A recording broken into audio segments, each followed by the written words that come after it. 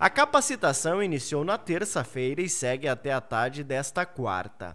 Todos os produtores de Francisco Beltrão foram convidados para o curso promovido pela administração municipal em parceria com a SEAB, a DAPAR, Emater, IAPAR, ANSOP e a Associação dos Secretários Municipais de Agricultura.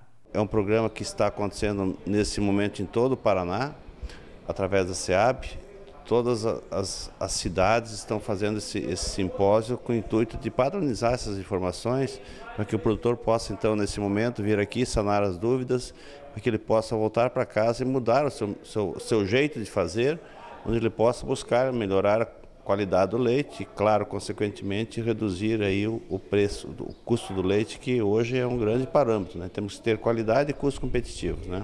Durante o curso estão sendo tratados temas a exemplo das novas normativas 76 e 77 que tratam da qualidade do leite em todo o seu processo de produção. Elas foram publicadas no final de 2018, mas entraram em vigor em junho deste ano. A IN 76 trata das características e qualidade do produto na indústria, mas é a IN 77 que mais interfere no trabalho dos produtores. Ela define critérios para a obtenção de leite com qualidade e seguro ao consumidor.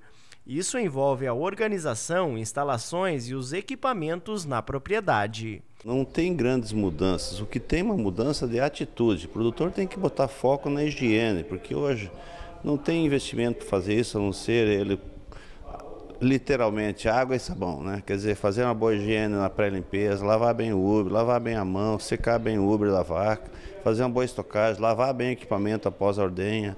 É isso, não tem grandes alterações.